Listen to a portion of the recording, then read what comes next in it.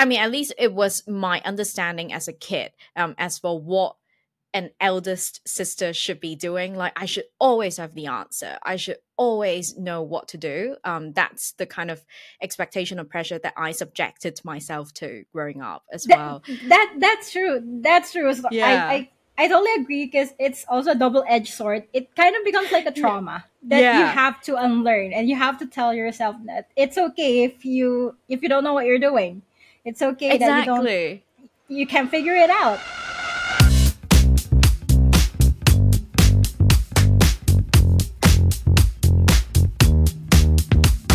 Welcome to Proudly Asian, a podcast series that tells bold and proud stories of Asians by Asians.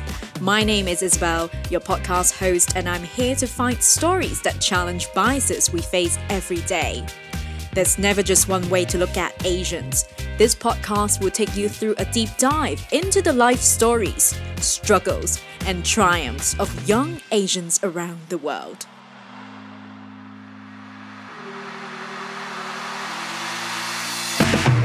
On today's episode, we have Mara Muñoz, a Filipino marketing professional based in Manila.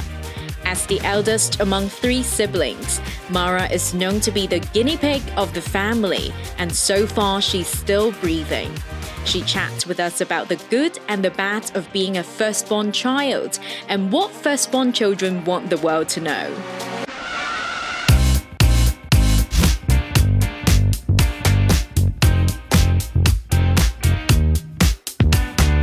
Welcome back to Proudly Asian. Now, this week we are dedicating this episode to all our listeners who are fellow firstborns. Whether you're Asian or not, we know that adulting is hard, and adulting while being the firstborn child of your family sucks. So, for this episode, let's gather around firstborn children. We're going to chat about the good and the bad about being the firstborn and how we are going to take care of ourselves physically, mentally, or whatever. But without further ado, I'm going to bring in a fellow firstborn to join us on this conversation. And this episode, we have Mara. Welcome to Proudly Asian, Mara. How are you? Hey, hey, hey. Good. No pressure, Mara. I know of all the firstborns that I personally know, I think you are probably one of the like role model firstborns Oh. that I've come across. Having seen you in action, your organizational skills, your planning skills for family trips, it just makes me feel like I am the firstborn who gave up, and then you are the one who's actually showing all the firstborns around the world like how to get things done. So this is why I had to bring you on this episode. we try to do our best because no one's gonna do it. Exactly. I mean, I'm trying. I'm also trying. But now, um, before we get into the actual conversation about being firstborns, right? For our listeners to Mhm. get to know more about you, why don't we start with the very basic questions that we ask every single guest on Proudly Asian, which is tell us about your background. Who are you? What are you? And where did you grow up? Okay, so hi guys. My name is Mara. Well, technically it's Margaret, but it's so long, so yeah, I'm known for Mara. And um, I'm the firstborn, so we're three. And I'm from the Philippines. All the juicy bits, maybe we can talk about it later. For what is worth, you're just listening to two firstborn children of their families Mm. talking during this episode. So hopefully it's going to be one that's fun, maybe emotional, because um we haven't really done this topic um, on Proudly Asian, but then it's been on my mind. And I think whenever I was kind of trying to find a guest to talk about this topic, I think you are always appearing to be the first choice. And I'm so glad that I asked you to join us on this episode. Now, obviously, um, we are both firstborns here. And um, let's just chat about all aspects about being a firstborn child. So, one of the popular sayings about firstborn children is that firstborn children are the unpaid interns. Do you have any opinions about this? Like, do you agree with this? 100%. Yes. Li- like, it brings me it's it brings back so much memories. How in a way i grew up faster than the usual because i'm asked to do things that a younger girl don't normally do i guess that's how you put it. Because my dad um he's always not around so it's just well there's there's my mom but my mom is working so that leaves me with the rest of my siblings right? And then i'd always be the one who's in charge but my parents would ask me to be like hey mara you have to remember to do this and that. So these are the chores or maybe the responsibilities and you have that checklist you have to make sure that everyone does it or else of course you're gonna get in trouble and in a way it's like hmm i'm not supposed to be handling money at the age of seven. I'm not wow. supposed to be paying for my tuition fee and my sister's tuition fee. But for some reason i do remember that. I was the one paying for our tuition fee. So and that's, that's like thousands of pesos. Wow. Wow. I I mean whenever I see this statement firstborn children being the unpaid interns, it will be like, well, firstborn children are the unpaid interns, but their parents are also the inexperienced managers I don't know whatever that's called, but then that whole dynamics, right? If it's um, interns, then that makes the the parents their managers, right? So I just feel like there are a lot of trial and errors um, that were done mm-hmm. on firstborn children because um, for most of the parents obviously dealing with their firstborn children is really their first time dealing with mm um, their own children, right? So um, no one is born an expert of parenting. So um, it's only fair to assume that for parents, it's also their first time dealing with a baby, you know, watching the person grow. And then it's like, oh my God, I yes. have to figure out schooling for them now. Oh my God, I have to figure out um, universities and all. So it's just like learning process, a lot of learning on the parents' yeah. part as well, right? So so true. I would always joke around here at home. I would call myself the guinea pig.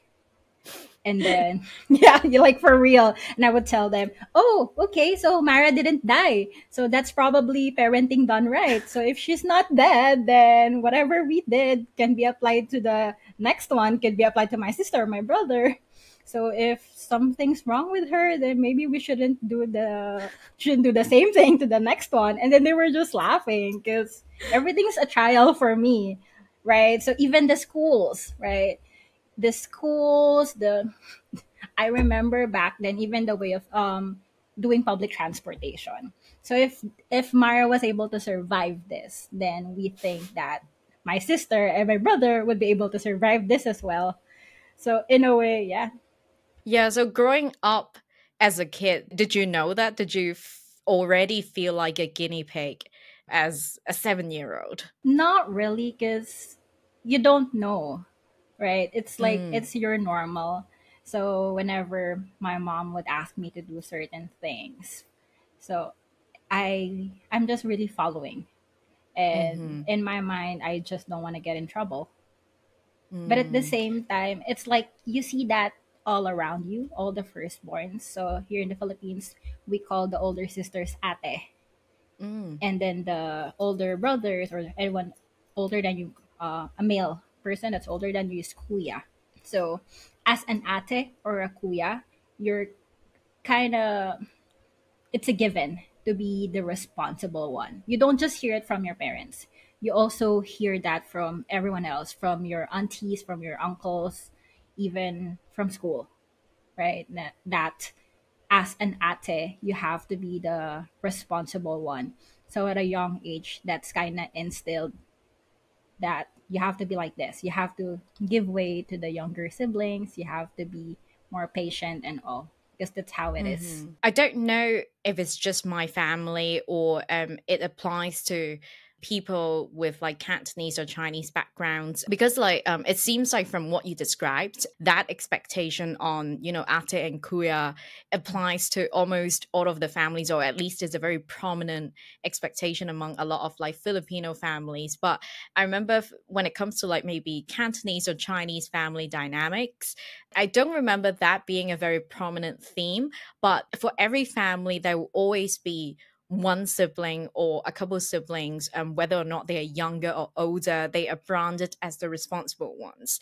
And um, they will always be the responsible ones, whether or not they're older or younger. So this might be what's different um, when it comes mm-hmm. to like Cantonese or Chinese family dynamics, but I'm not really sure this is true for all Chinese or Cantonese families. So, for our listeners, if you're listening to this and if you know of Chinese Cantonese culture, let us know if this is true. Yeah.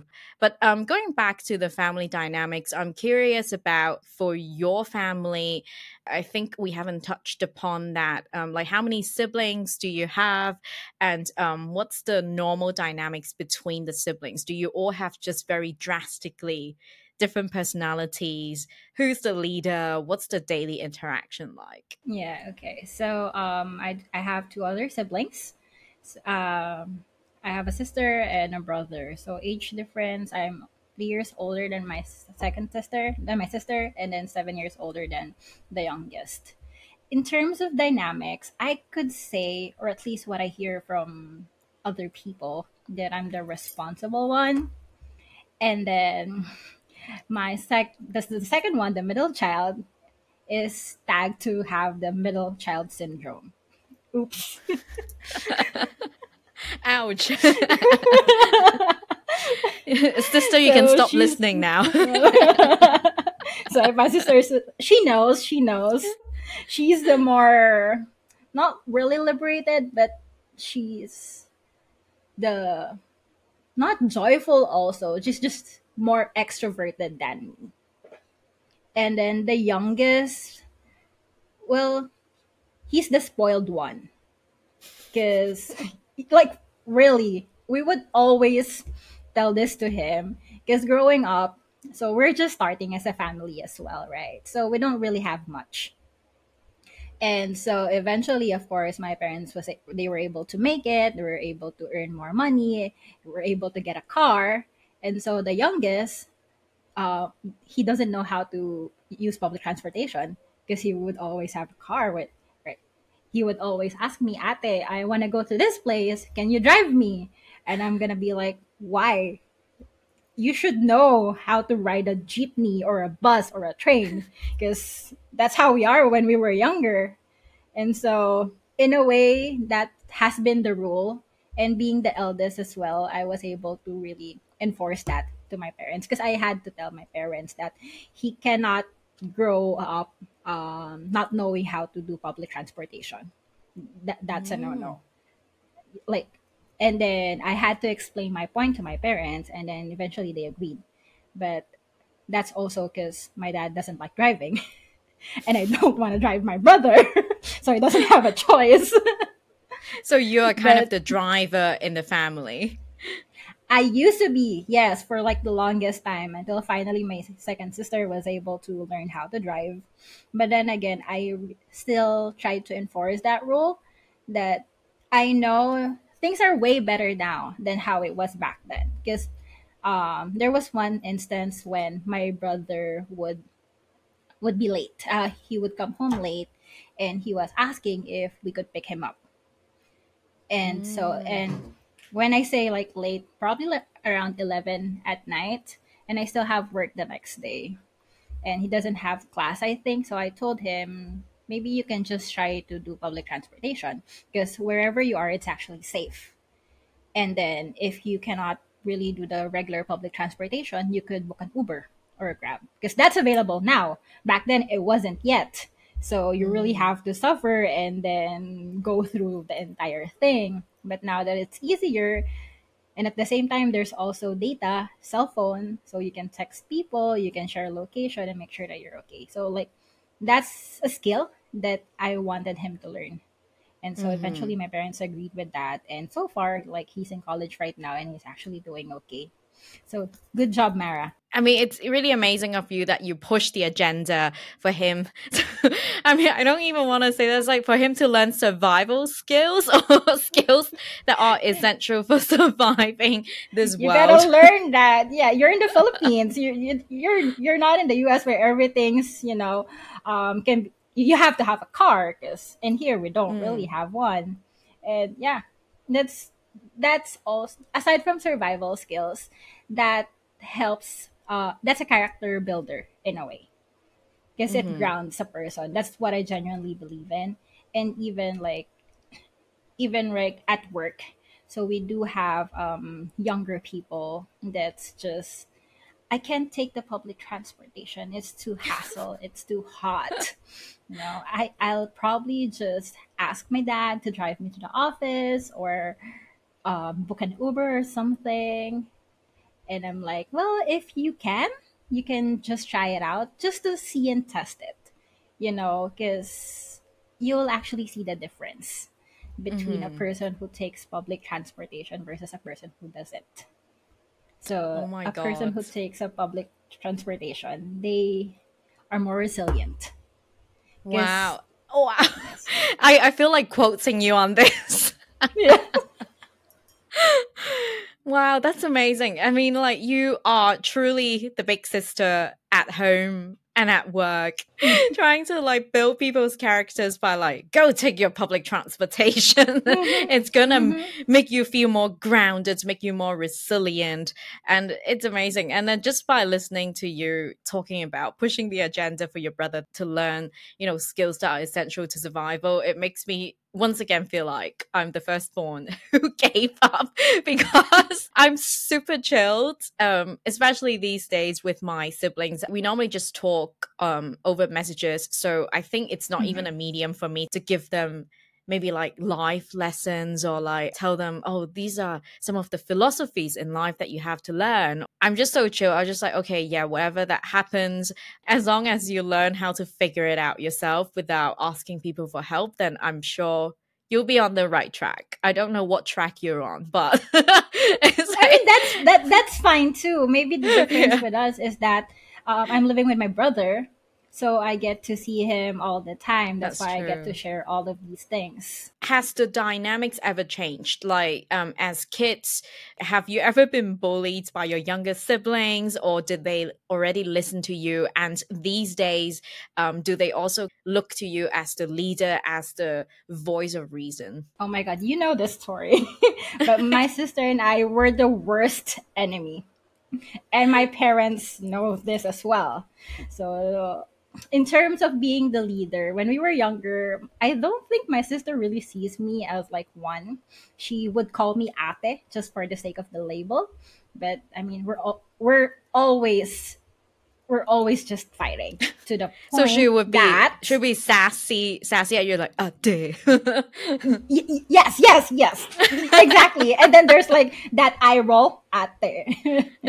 You know like that and my parents would be so tired of us, you know, just shouting at each other, sometimes pulling each other's hair, to the point that, you know, that my my dad gave us knives. You know, you can't stop fighting. Just go kill Real yourselves. Real knives. How old were we? I think we were like, I'm probably, I think, eight or nine years old. So my sister is what five or six, I think. Oh my god. Yes. And so your dad I, asked you guys to fight it out with real knives. Yes. mm-hmm, mm-hmm. And of course, I I do have an awareness already. I kind of know like what's going on, but my sister kind of poked me with a knife, and then eventually oh, my no. dad realized like, oh shit, wrong parenting, wrong. Someone can die. Because a child was harmed during the process. Exactly. and so, of course, he had to remove all the knives. And then when we started fighting again, let's try again this time. But I'll give you boxing gloves. mm-hmm. Like legit, real boxing gloves. And here, uh, my dad is like a fan of um, boxing. I mean, the Philippines is known for boxing. So we mm. would have these regular sparring sessions with my dad. Like he literally teaches us how to punch someone. Yes, Wow. he is he is very particular in terms of self-defense. So like Mhm. we do know how to defend ourselves and well, my sister knows how to punch and I know what's going on. So this time around, she kind of did punch me. And so, yeah, like that's the dynamics in our family. But eventually, we then realize, you know, that um, it's also part of growing up, especially since we are both, our age gap is not that far. But um, I do remember there's, she told me this. Uh, we go to the same school. And then she would be labeled as Mara's sister. Mm. So she doesn't have her own identity and i actually felt bad. Because um, well of course i came in first and then everyone knows me and i do have this personality where i would always be attending a lot of events or different kinds of um, contests. So like everyone knows me and then eventually when my sister came in she's labeled as my sister. So she had to create her own identity and I mm-hmm. honestly don't know like how it is for her, but I do think that eventually she was able to make a name for her own. I can imagine being so close in age. People will still compare. They will always be like, "Oh, who's the prettier one?" Or like, "Oh, oh are you?" It's like, "Are you the prettier version of Mara, or the louder version of um, Mhm. your sister, or something like that?" Right? Like they will always give you these kinds of labels. Yeah, there's always comparison, but then again, because we looked so much alike, Mm. sometimes we would just tell people that we're twins. yes, That's not a bad idea. even until, even until now. Like people think that we're twins. Yes. Wow. So wow. funny story. Uh, I do have this gas card with me. So, and then here in the Philippines, we have like gas boys who would fill up our tanks, right? And then they already know me. So there was one time that the the gas boy saw the both of us, and then he got confused, and they were like, "You guys are twins?" yes, yes. Wow. So eventually, my sister was really able to use my gas card, and then she would also carry my ID, and then no one would question her because we kind of look alike. Wow, that's convenient. it is. I know you talked a little bit about your parents definitely had expectations on you um, growing up, but um, Mhm. compared to your other siblings, do you feel like you had a tougher time as the firstborn? Definitely, definitely. Because uh, going back to what I said a while ago, when we were younger, when I was younger, when we were just starting up, um, it is really difficult for us financially as well. So I would remember my mom asking me if she could. There were things that I that I wanted, and then she can't buy it yet. So I need to understand the situation, and then at the Mm. same time, I would also compare in terms of like age. Why is it when I was in that age, I never got that? But why is it with her right now, she gets it? Why is her allowance way bigger than mine? Like those little things. I, I see it, but at the same time, I understand it. But I still feel something, right? Mhm. And then, Yeah. of course, like my dad's always not around. So, in a way, I had to be with my mom, you know, parent beside her. There were like a lot of things that, say, my brother, taking care of my brother when he was younger, there were like dad duties that my dad wasn't able to fulfill. So, I would step up and do that. Like, I don't know if this is like something that you could um, share, but we, you know, circumcision here in the Philippines. So mm-hmm. that's something that boys they do it with their dads, but my dad's not around, so I would do it with my brother. Like that younger that that sister who's I, how old was I back then? I think I was in early high school. And then he was probably like seven or eight, and I would accompany him and then even the small responsibilities making sure when everyone would go to sleep i have to make sure that all the locks are locked i have to go around the house because you know i want to make sure that the family's safe right So I would just circle around the house. And like I was able to carry that even up until now. So I don't know if you noticed also when you guys went here at home that my my room is actually positioned in front of the street. So that yes, so that I know what's going on if there's someone who would pass by. So if they're not around, yes. And I'm on the second floor so that I do have like a bird's eye view of everything. Wow, it's just like you're wearing so many hats for your family. You're also the security guard of the family. Oh my god. That's kind of And like how it was instilled with me, even especially when my dad would leave, he would tell me, okay, don't forget to do this and that and that, yada, yada, yada. And so, like, okay, sure. and compared to your siblings, they definitely don't get that kinds of conversations or like instructions from the parents, right? Like the parents, your parents wouldn't go up to them and be like, "Don't forget to do this."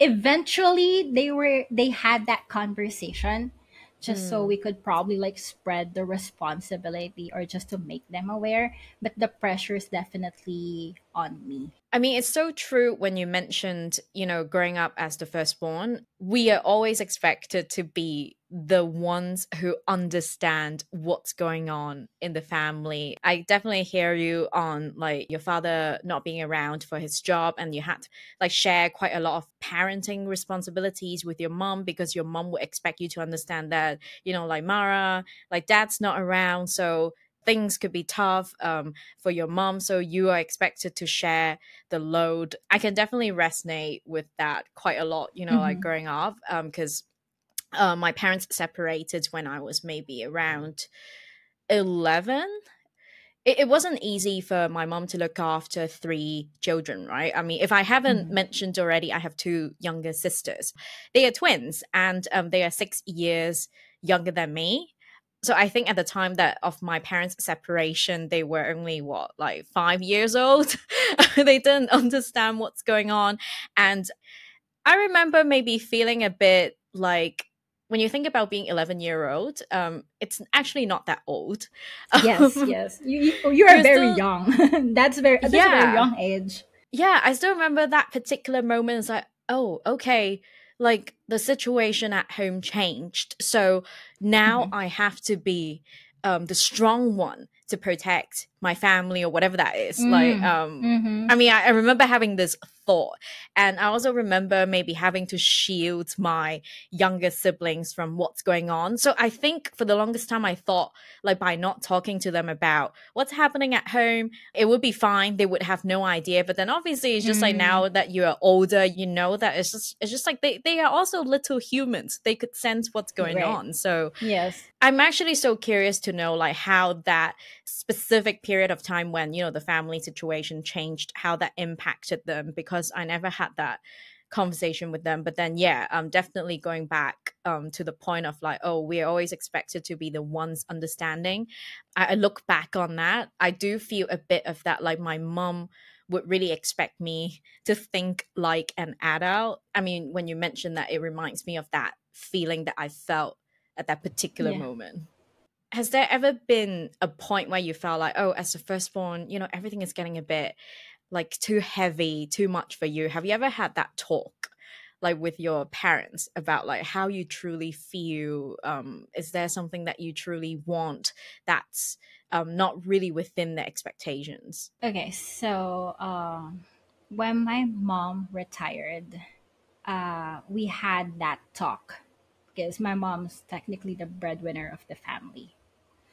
So in terms of expenses, it's usually my mom would pay for everything. My dad would probably like pay for um, maybe mortgage or car, those things. But you know, groceries, tuition fee, and all those are all my mom's. And so when she retired and my younger brother was still studying, I had to ask the question, like, what's gonna happen? You're we're gonna lose like our main source of income, and I think I was 25 back then. So and then she said that okay, I have a plan, and I do like control over things. I guess that's how I was raised. That's how we were raised. So I had to ask the follow up question What's the plan? What kind of plan? Is it like long term wise and all, right? and she was able to lay out the plan and it seems doable it's sound but things happened after within like out of our control. And so i had to step in. Then little by little um, my contribution started getting bigger. To the point where it's eating like more than half of whatever i'm earning. And then i started asking wait why do i feel like i already have this res- why do i feel like i'm the breadwinner of this family right and then i tried to ask also my siblings, my sister, because she's already working. But during this specific moment, she can't shell out money yet because she's also um, trying to pay for something else. But uh, growing up, you were raised to be the, the responsible one or to be the more understanding one. So when there are certain times when there's a need uh, when you need to pay for something but you know you can't afford it but also at the same time you know you could probably like find a way to afford it or to pay for it or get a loan or something you would do that right like no questions asked it's your parent hat Mm-hmm. working like there are there are like certain situations where my mom would ask me for money and then I know that I can't afford it but I was like wait hold on I think I could get a loan somewhere else and then I'll just figure it out how to pay for that loan. She she, she never knew about the loan anyway. so like she she thought before that I could just afford it. No, because sometimes when you make thing when you make things look easy, you tend to get abused for lack of a mm-hmm. better term. Yeah, but then eventually I had to tell them that because it's weighing me down already. And then when I look at the other people around me, they were doing so much things and I feel like I could do so much also. But it's just that this responsibility is there. So I I had a sit down talk with them. Really I had to enforce that conversation. Like I want to I want to leave the nest. Basically, that's what I said. Right? I, I want to build my life. I want to go on adventure or something else. But I know the, the our current situation. I know that uh, the youngest brother is still studying. I know all the payment that we have to make. So how do we make ends meet? I, I actually went into the details and started asking like how much is your pension gonna be?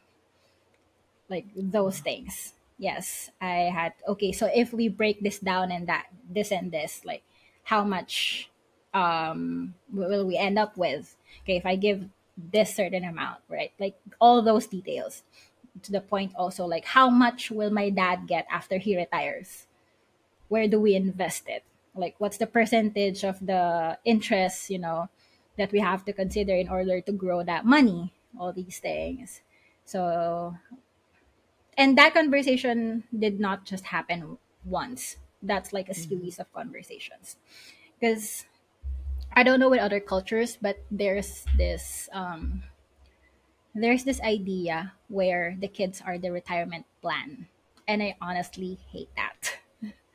So I I told them that, like I don't want to be your retirement plan.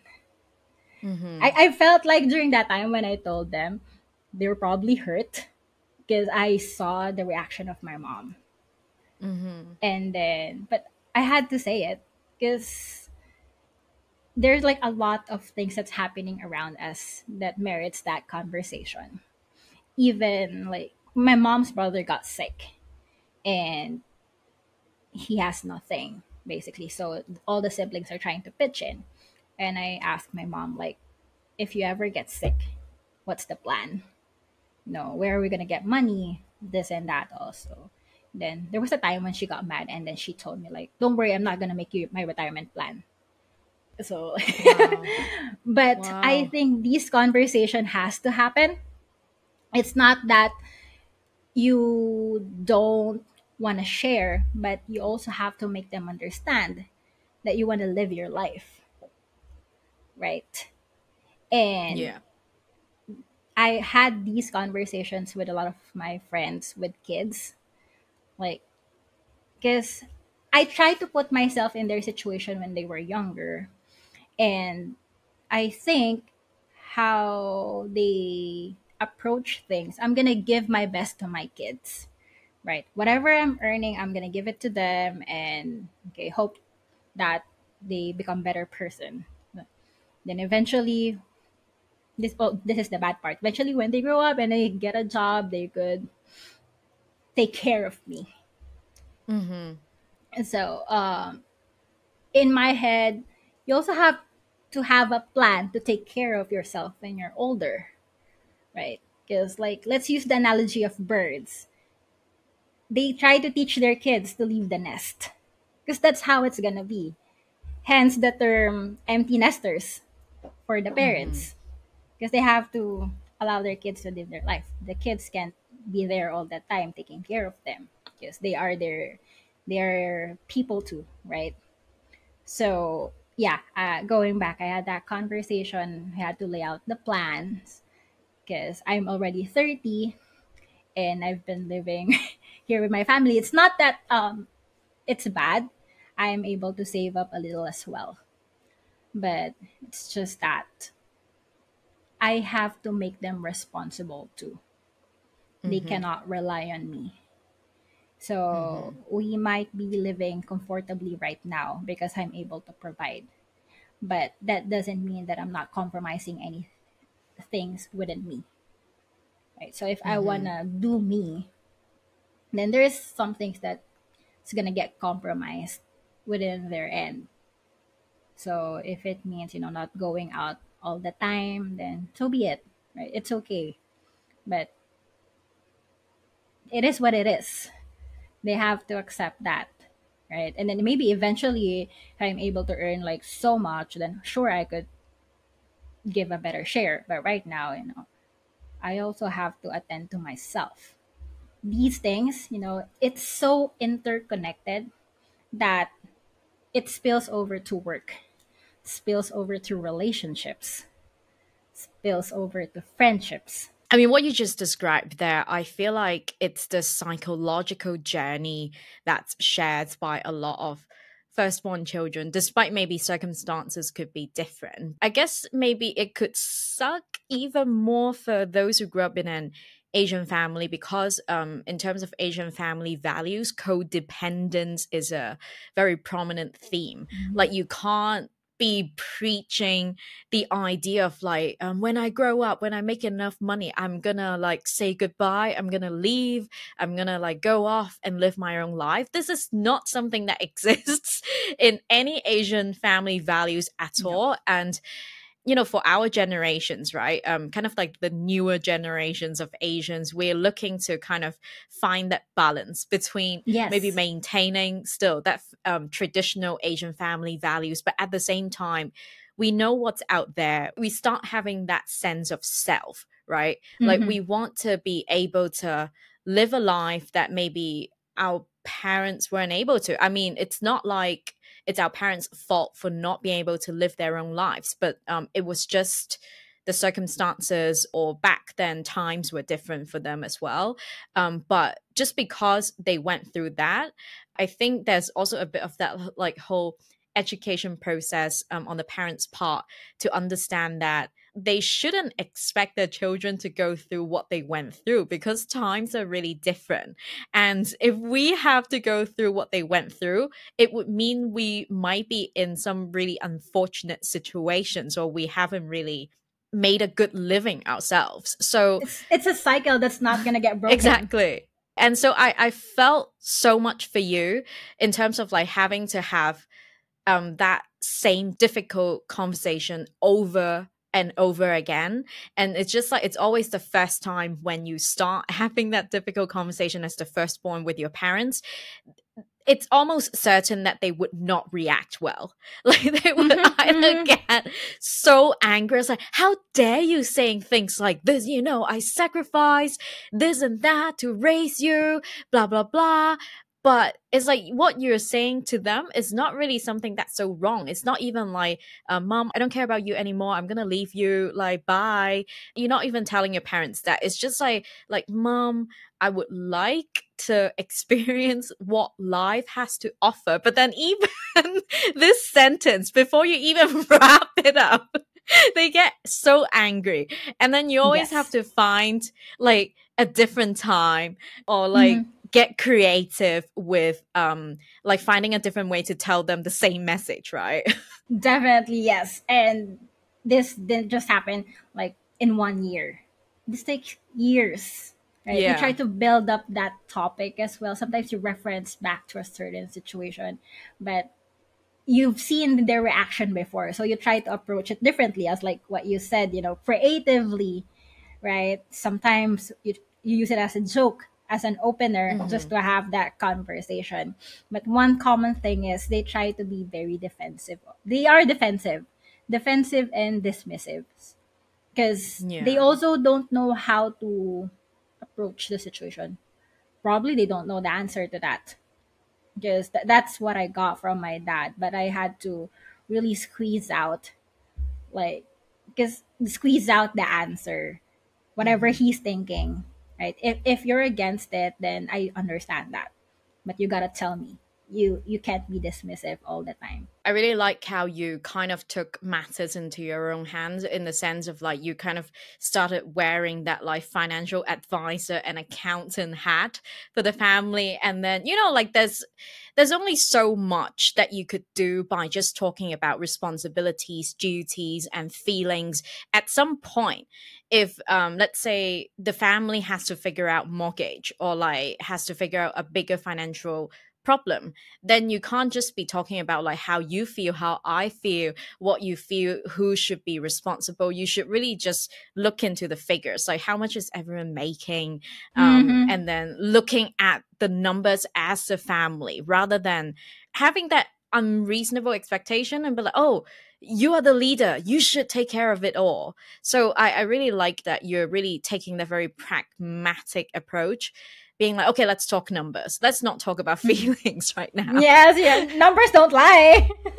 right? but I mean, obviously, it was a long process for you to even get the message across to your parents. I'm not even sure if you are at the stage where they start to understand yet, but do you think over time they have maybe softened the stance a little bit? How are things right now, and how do you think you achieved that? They're definitely more open in fact, I'm actually proud of our dynamics because there are some family who really cannot, not really answer back, but who cannot have mm. these open conversations with their parents, with their family members. But we have that one. Um, so they do listen now versus before. And I think that they also try to make more effort to understand where we're coming from. Because I would often hear my dad tell me that, okay, I'm trying to understand your generation versus our generation. So that's a step. It's actually very good. And I just have to explain it to him even more and stop telling him to use TikTok as you know as news source because he would always say okay i saw that your generation does this and that then where did you see it from tiktok no. Let's find a more credible source. yes. But even like even that one, you know, because they don't know any better back then. It's also us trying to parent our parent because mm. we have more resources now, right?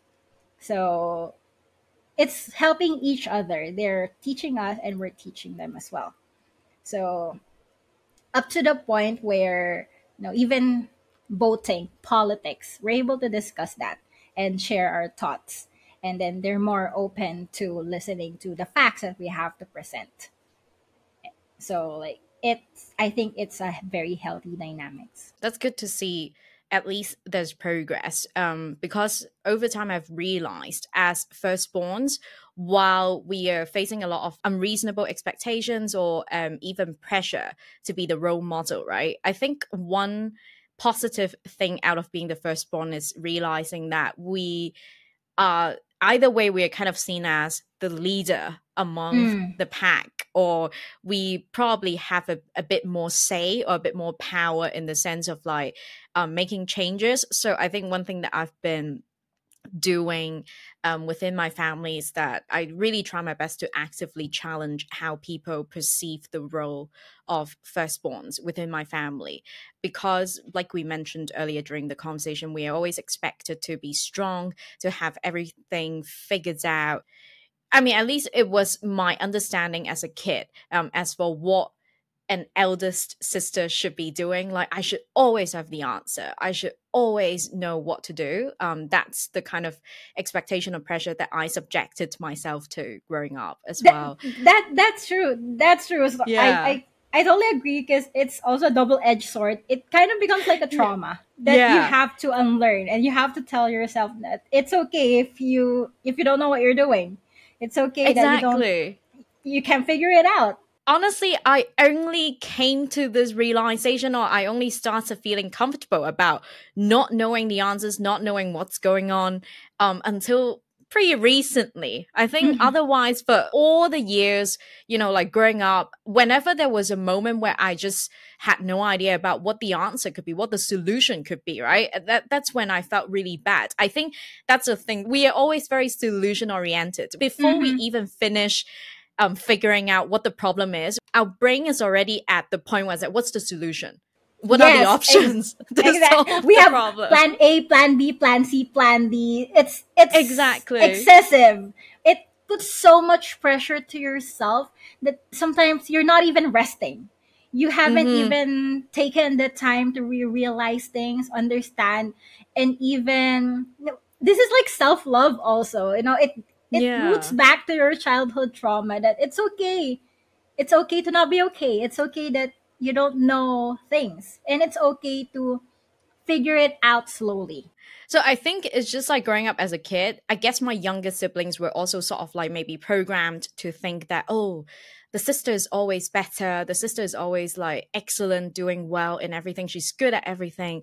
But I think these days, I guess our dynamics really changed drastically. Like these days, we just act as if we are friends whenever we're texting each other, as opposed to like as kids.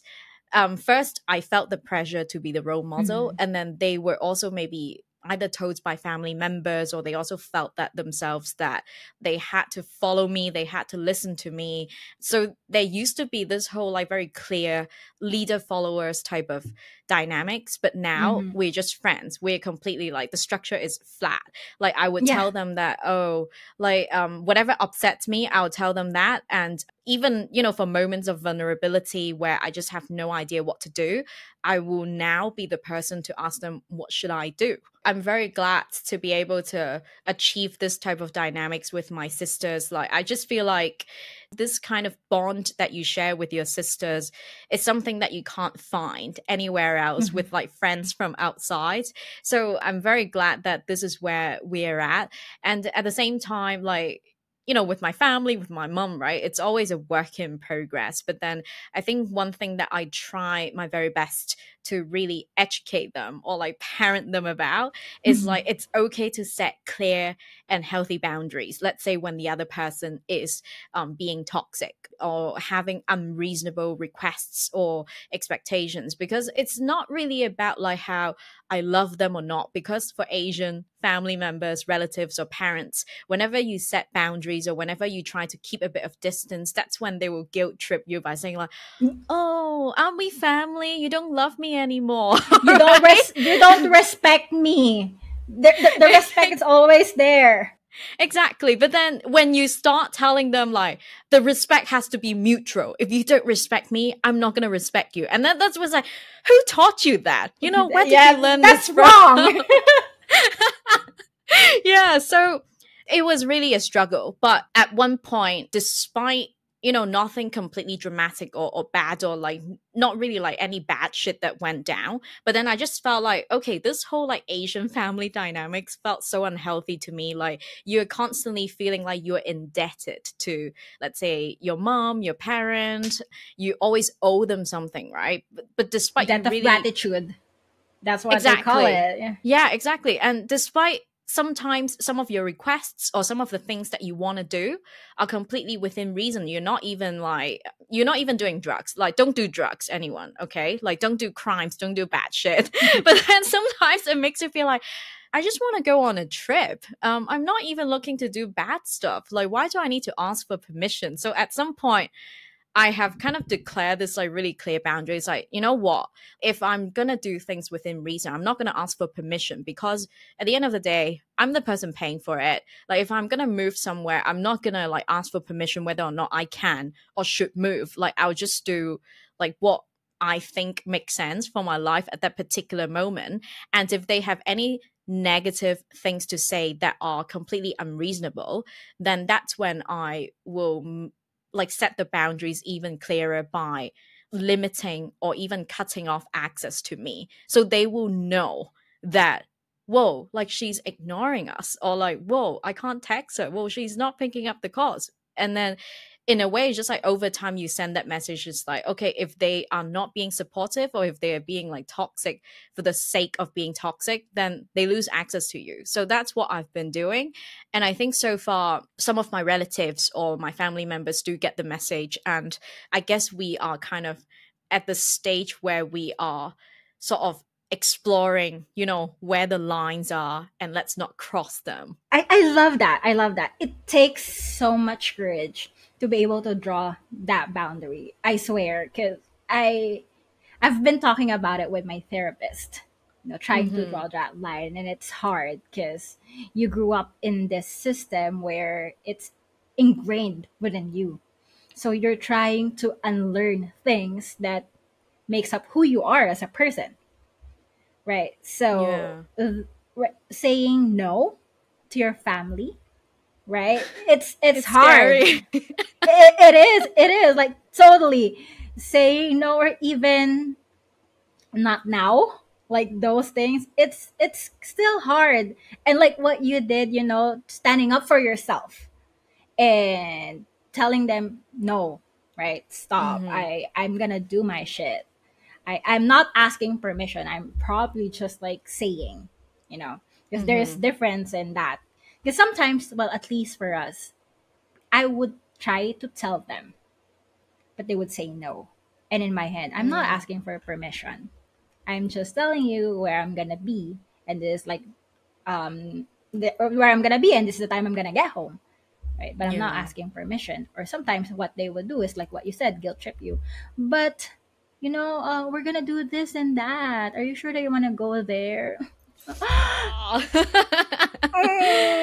and especially you still live in the same house with them. I feel mm. like the very thing you're not able to establish that physical boundary makes everything a lot harder. And I do think the game changer is really not living with your family. and you can never go back. Like once you do that. Mm. That's why I was so sad when I had to go back here. When I was in the US. that taste no, like, of freedom. for real, because there was a time um, prior pandemic when I was living on my own. So I rented mm. um, a place literally nearby my office, and I haven't told my parents about this, but it's like one of the best times of my life because I have the freedom to do everything, and at the same time, you don't have to deal with all the emotional things at home. Because yeah.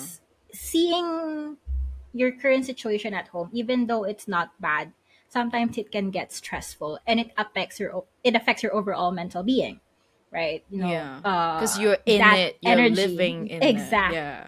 Exactly. But when you're able to separate yourself from that one, or even just hearing it after the fact, that's already a huge relief versus just being there. So it really is like so true to move out, figure things on your own. And Mm-hmm. I mean, mm-hmm. it's okay if you want to go back, right? At least you're able to experience that. But if uh, moving out and living on your own works for you, then why not? Because I honestly want to do that.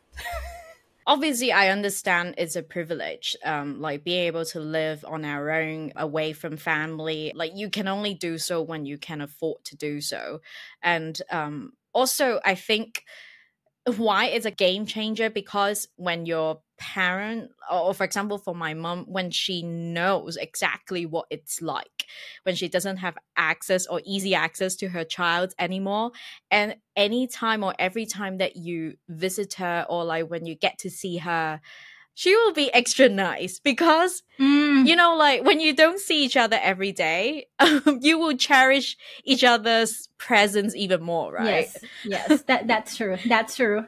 Before we quickly go into some of the maybe practical tips as for you know um, based on our learnings or maybe our experience with therapists so far to take care of ourselves as firstborns i'm just wondering like you mentioned earlier a very strong point like that whole firstborn hat could spill over to other aspects in life for example friendship workplace relationships.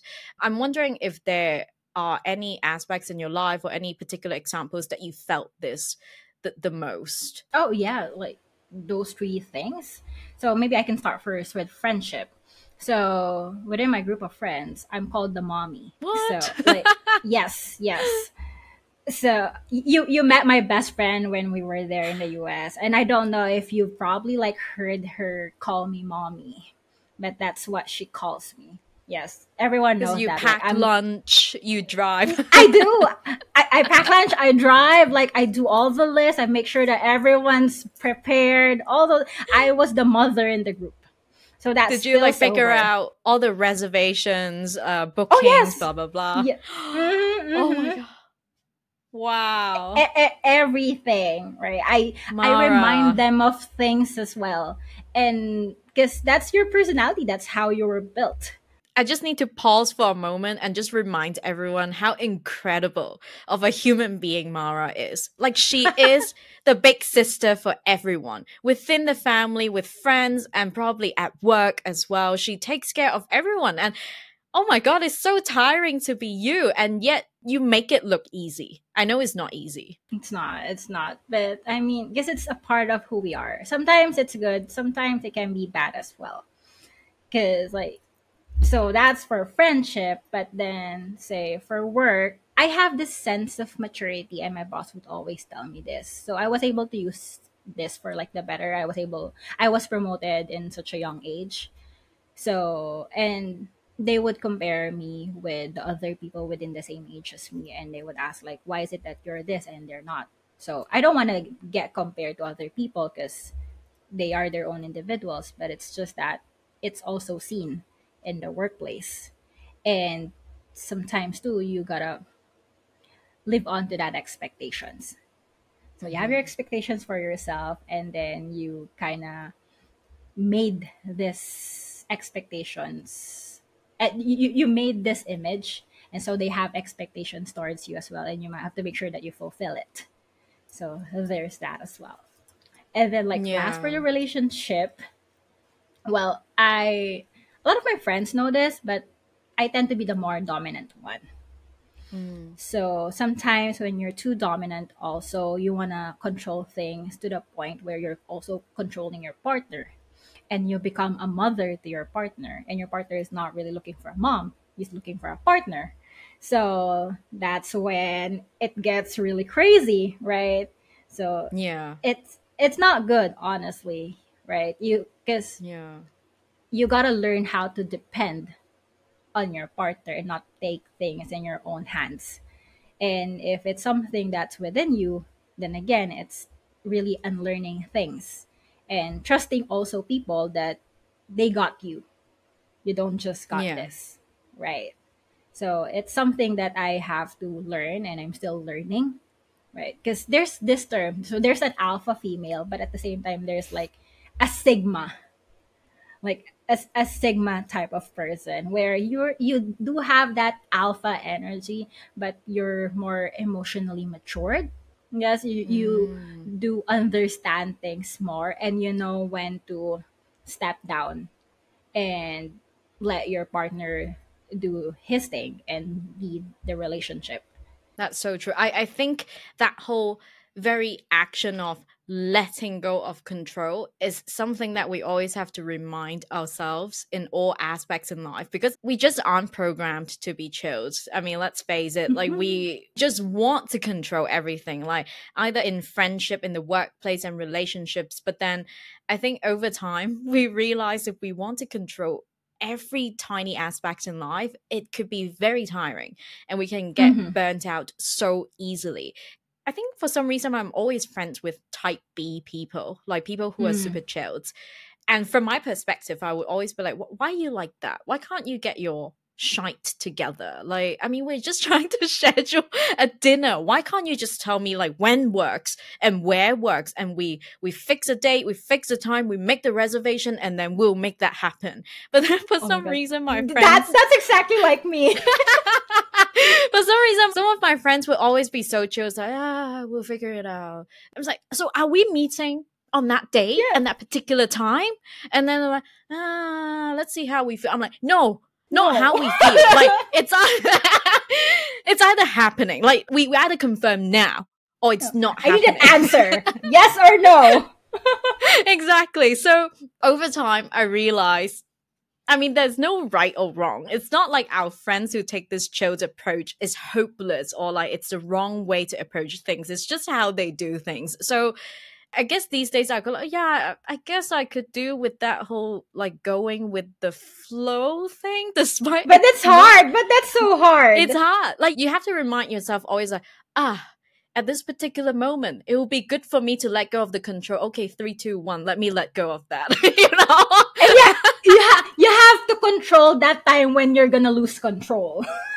whether it's in friendship, at work, or in relationships, sometimes you also have to remind yourself that I don't always have to be the person to be doing that. I don't uh-huh. always have to be helpful because if you're helpful in any tiny micro task or micro aspect, let's say at work or whatever that is, or if you have line managers, yeah, you, you don't want to micromanage how they do things because when you stop micromanaging people, they become 10 or 100 times smarter because they are seen as an actual functioning human being. They feel empowered that they can make decisions, right? But then I think for like firstborns or type A people or managers, it will be kind of hard for them to just like, oh, I can't trust this person to be doing this. But then you always have like, yeah, okay, um, trust that person they are fine no matter how they figure out doing that. And also, it's essential for you to let go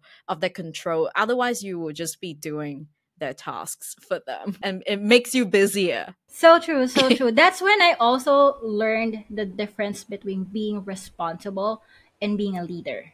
Because mm. leader doesn't always mean that you have to be responsible for everything, right? That's when exactly. you also know how to delegate tasks and manage people right you don't have to do everything on your own you got to make them mm-hmm. responsible mm-hmm. too so like these things that you have to learn as you grow up and you tr- you try to separate who you are as a firstborn and who you are maybe eventually if you become a leader in your own field yeah and i i do see that very trait of um firstborns or let's say type a people they can easily be taken advantage of wherever they are in life because we always the people who just can't stand going through any downtime. Like we just want the solution, like right here, right now. And if no one is solving that problem, then I am going to do that. But then yes. we need to kind of unlearn that because we can't solve all the problems in the world. Oh yes, yes, mm-hmm. yeah. So but um, before we move on to the next segment, I just want to quickly touch on any practical tips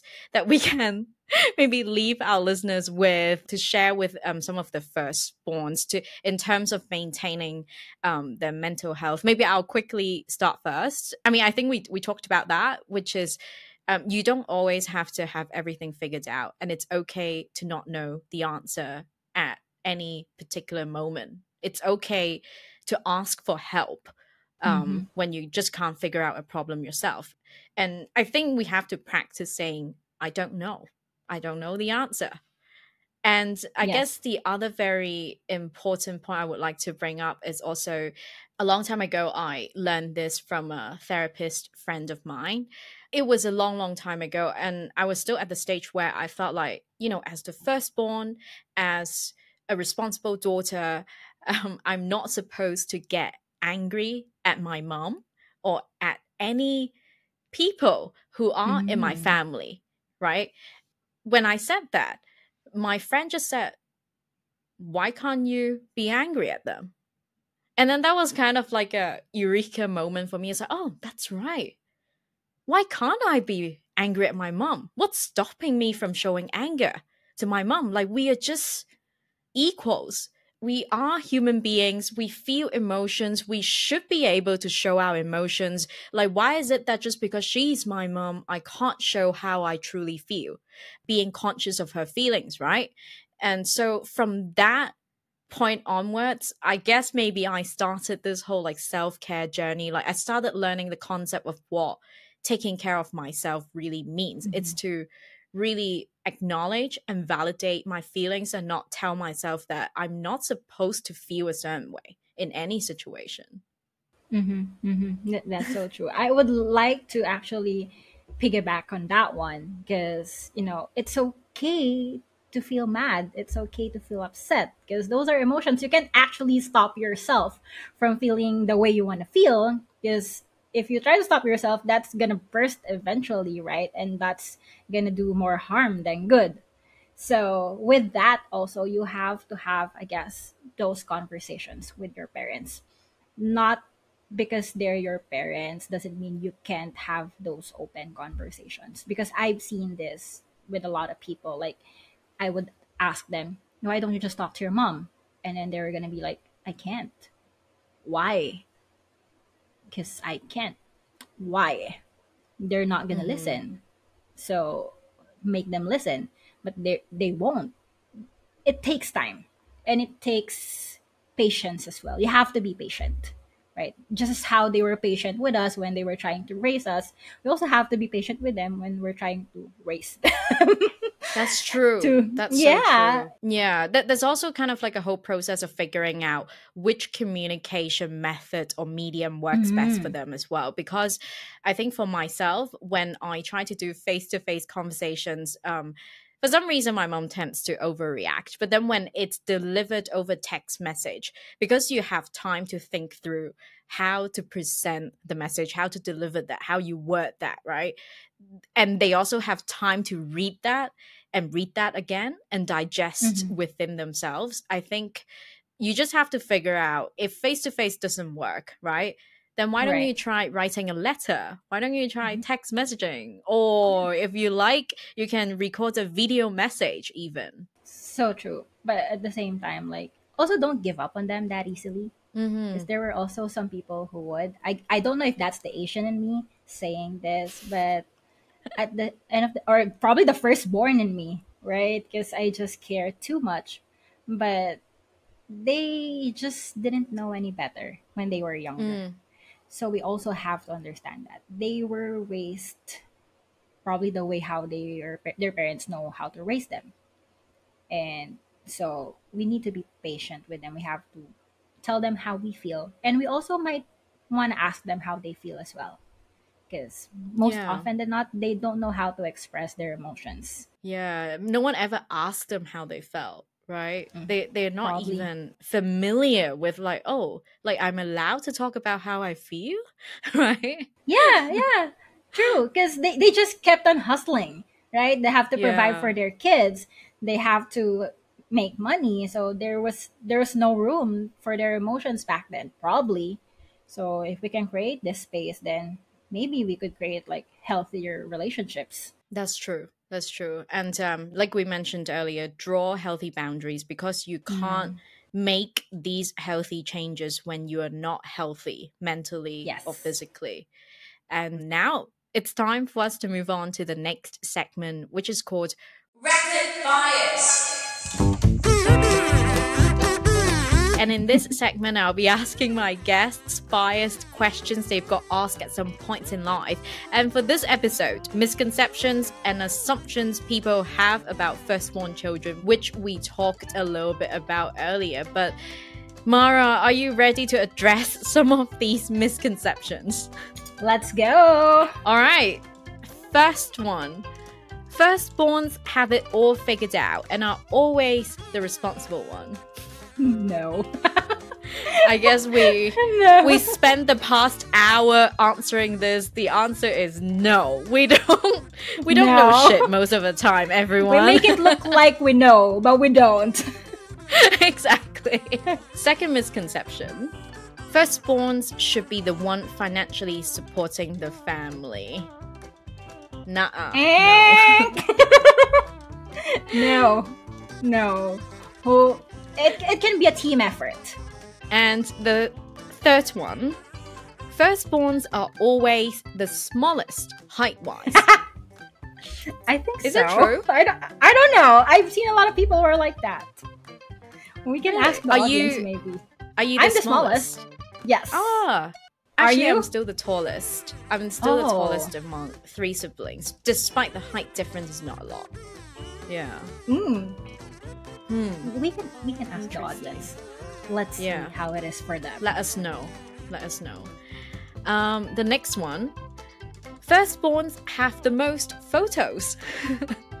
Very timely. I asked this to one of my mommy friends. Mhm. and she said that since she's so she's excited to have that firstborn so every moment of every day she takes a lot of photos and i felt like it's kind of true with me as well because amongst all my siblings i have the thickest albums. I have like monthly photos evolution of mara versus that versus like the youngest. He he he doesn't have that monthly weekly photos since i was like he was born. But i have that. Interesting. Wow. Wow. I guess that's one benefit of being a firstborn. Like, you have the thickest albums, and then when it goes to the youngest, he just has one page because the parents like, it, it takes too much work taking photos. Let, let's uh, sit this it's one just out. the same yeah. and um, next one. Firstborns are bossy. might be i have heard a lot of that. They tell me that i tend to be bossy even at work even how i project myself. So might be. I guess the other way to look at it is we're just so solution driven that we are always trying to find an answer when no one has the answer. So this is why it makes us appearing to be a bit bossy because we are always like, okay, I have so many problems that I need to solve. I have no time to waste. Let's just get Yeah. this, you know, out of the way. right, So right. maybe 'Cause that's you also why. have to establish things that's why you tend to be assertive maybe not bossy but you tend to be Yeah. more assertive in things Yeah, exactly. I mean, at least for myself, it's just like I'm always thinking I have no time to waste. Let's figure mm. this one out so I can move on to the next one. true mm-hmm. and the last one firstborns are more easygoing. This is the, the complete opposite. are they? No. I don't think so because we need to figure things out. We need to have a plan. So I don't think that counts as easygoing. Yeah, I think with any firstborns that I I have dealt with, they always have this energy of stress. They're always stressed out. They're always like a bit paranoid. So I guess it wouldn't really be like easygoing. I don't know if it's true. Like for our listeners, are the chilled people that you have dealt with usually the younger siblings? Let us know. Or maybe they are. I don't know. But if they are, then maybe can you tell us the secret? How to be Yeah. a firstborn and just be chill? I know. Maybe um, they subscribed to the philosophy of Buddhism, or I don't know. now that wraps up our segment of rapid fires. And for us to close out the episode, um, we touched a lot on different aspects of being firstborns. But um, Mara, do you have any like final parting words, nuggets of wisdom, or just any message that you think firstborns would like the world to know? Mm. Maybe one one statement. You're doing good. You're actually doing great for all the firstborns. It's okay if you don't fig- if you don't know what, if you can't figure things out, but you're okay. You're doing great. And finally, what does it mean to be proudly Filipino to you, Mara? So, I guess being Filipino, proudly Filipino, the concept of family. Because despite everything else, you know, we always try to make sure that our family's taken care of. We love each other, and that's something within me. I think that's truly Filipino, if not actually proudly Asian as well. But it is the concept of family and being able to provide for everyone while at the same time making sure that you yourself is also taken care of. That's beautiful. Mara, thank you so much for spending the time with us and just one one more time. You're such an incredible person, so thank you so much for being you, you know, for showing up Aww. for everyone around you and also a big fat thank you to all the firstborns who are listening mm. out there. You are doing great and you are enough, just like what Mara said. yes. That's it for this episode of Proudly Asian. Don't forget to follow us on Instagram at proudly.asian for more content. We are on Spotify, Apple Podcasts, and YouTube. Leave us a five star review on wherever you get your podcasts. Thanks for tuning in and signing off for now. I'm Isabel Wong.